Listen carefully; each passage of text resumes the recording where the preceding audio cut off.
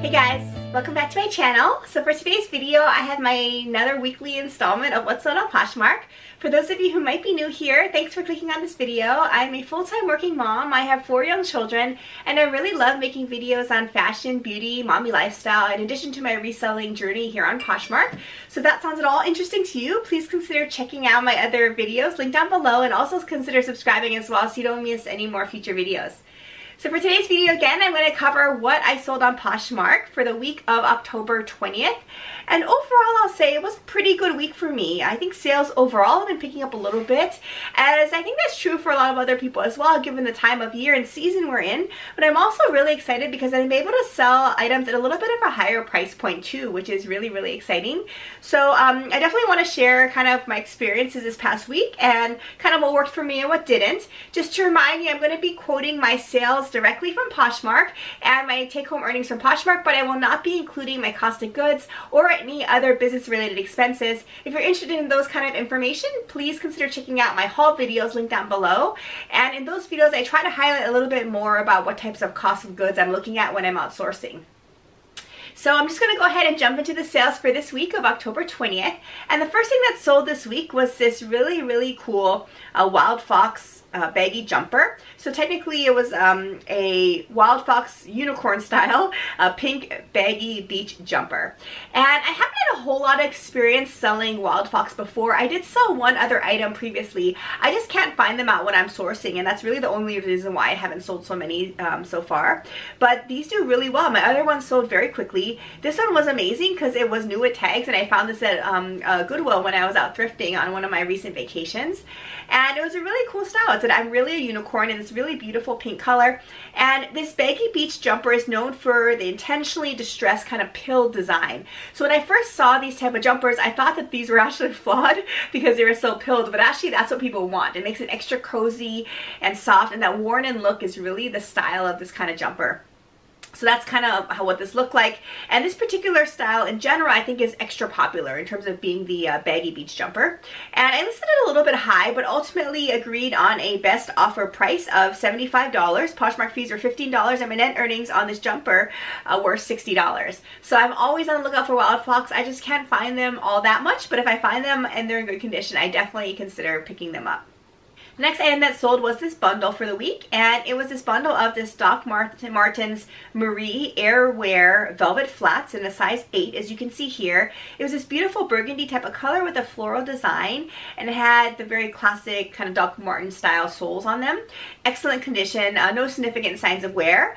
And the second item that sold in this bundle was this Anthropologie Saturday Sunday Isabel dress in a size small. It had this really nice um, tie detail at the waistline, very classic style, cream and black, very classic uh, colors as well. You just can't go wrong.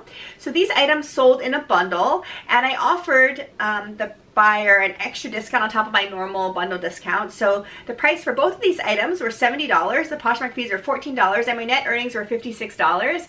And I got a really amazing love note on this particular bundle. And the buyer loved both of these items. In particular, the shoes um, were what she was specifically looking for. She said she had the same shoe in the black version. So she was looking for this burgundy color and it was absolutely perfect for her. So I was always super excited about that. It's really cool when you have items in your closet that people are specifically searching for. The next item that sold was this Patagonia item. It was the Anya hooded striped sweater dress and really perfect for this time of year going into the cooler months. It had the kangaroo style pockets, just really basic um, classic sweater dress style. It had a decent amount of likes as you'll see here at 13 likes and was not in my closet for that long. I'd say maybe only a month or two at most. So ultimately I did agree on a best offer price of $35. Poshmark fees were $7 and my net earnings were $28 on this item. I do love selling Patagonia. Um, I don't have a whole lot of Patagonia for whatever reason here at our local thrift stores, so I don't find it all that often. But if I do and it's uh, a neat style like this one, I definitely think it does well. The next item that sold was a We the Free thermal sweater. It had this really dramatic bell sleeves as you can see here. So really, really unique design. Um, really good condition as well. Just a basic thermal, perfect for this time of year. So this particular item was in a size extra small and I agreed on a best offer price of $20. Poshmark fees are $4, so my net earnings were $16 on this beautiful sweater. The next item that sold was this ASOS lace midi dress. So this was just a beautiful dress. It was this amazing burgundy color and it was lace as you can see here with cutout details and it was fully lined in this nude material um, for almost the entire dress except for the sleeves, um, the yoke area and one section of the midriff. So really, really cute, um, a little bit sexy style as well. So really, really popular. As you can see here with 36 likes on this particular dress um, for whatever reason though, this did sit in my closet for several months. I've had it for at least three months or so, and I did lower the price a little bit on this item, even though it got a lot of interest. It was in perfect condition, just really gorgeous dress, and really good quality, you could tell by just feeling it. It was by ASOS again, and it was in a size 4. So ultimately, I did accept a best offer price on this dress of $30. Poshmark fees were $6, and my net earnings were $24 on this dress. So I don't always pick up ASOS. I think if it has a really cool, unique style, I might tend to consider it. So, so far, I've only picked up dresses from ASOS. I do like their dresses. I think they're pretty trendy, really good quality, and people tend to be searching for them. So I have another sweater dress currently in my closet in case you're interested in checking that one out from ASOS. The next item that sold was this Madewell Skinny Skinny Distressed Ankle Jean. It was intentionally distressed as you can see here. It was in a size 24 and like you've heard before, I love picking up Madewell, especially jeans. I think they still do very well and um, so far most of the Madewell jeans that I picked up have sold very very quickly. This one took a few weeks to sell but did sell um, for a pretty decent price point. I accepted a best offer of $35.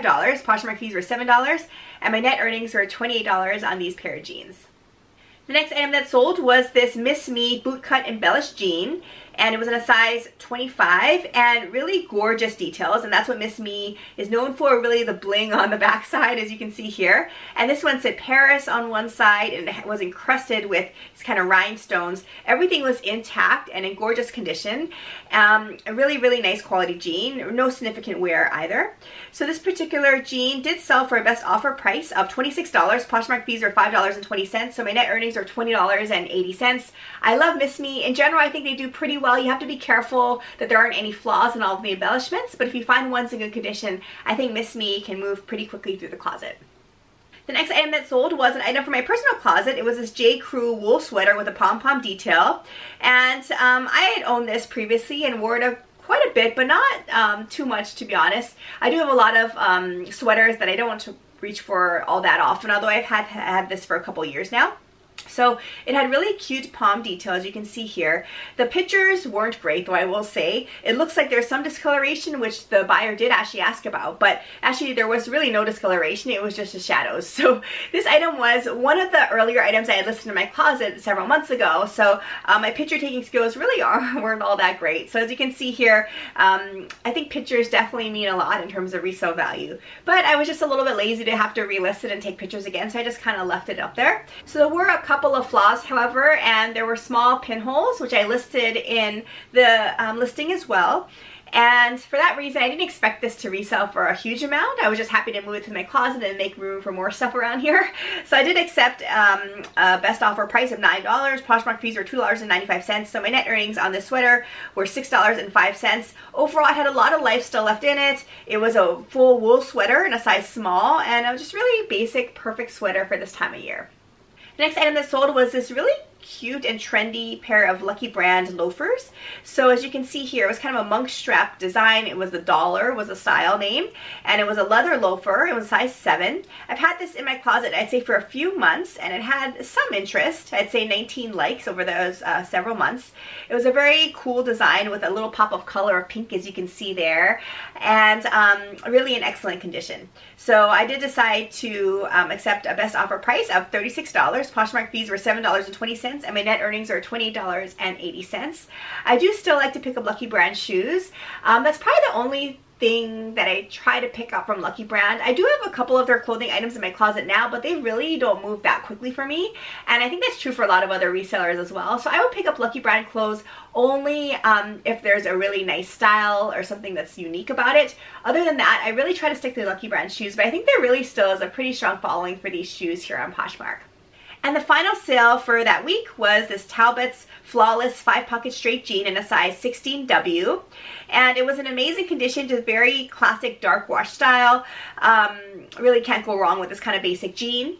So ultimately, I did um, send actually a closet clear out offer um, and closet clear out really is mostly miss for me. I was gonna say hit or miss but it's mostly miss. I try to use it um, every now and again but really haven't had much success with it. I think that really short six hour time frame for the discounted shipping is just a little too short for most buyers. So I don't have a whole lot of success but this particular jeans actually worked on so I dropped the price to $20 and this person um, accepted the offer within an hour I'd say of dropping the price so she got some discounted shipping. At Poshmark these are $4 so my net earnings on this item was $16 and I did get a really nice love note um, just yesterday on this particular pair of jeans and the buyer was very very happy with them. So Talbots is a brand that I don't tend to pick up unless I can get them for a really really discounted price and it's in amazing condition. So I thought these jeans would do well just because they're very classic design. Size 16 was also helpful as well so I wanted to give them a try and they did, actually did pretty well but in general I don't tend to pick up Talbots on uh, the regular Okay, well, that was it for my sales for the week of October 20th. So overall, pretty good in terms of numbers, and I'm also I'm pretty excited, like I said in the beginning of the video, that a lot of the price points are higher than they have been in previous weeks. So we'll see if the trend continues. I sure hope so. Um, I gotta try to stock my closet a little bit more as well. I've been having a little bit of difficulty time-wise um, to be able to um, list a whole bunch of new items, but I definitely want to keep working on that. So if you have any questions about any of these items or my Poshmark experience, please consider leaving them down below and also consider watching my other videos and subscribing to this channel as well if you haven't done so already. Otherwise, thanks so much again for watching this video and I'll plan to see you again in my next video. Take care. Bye.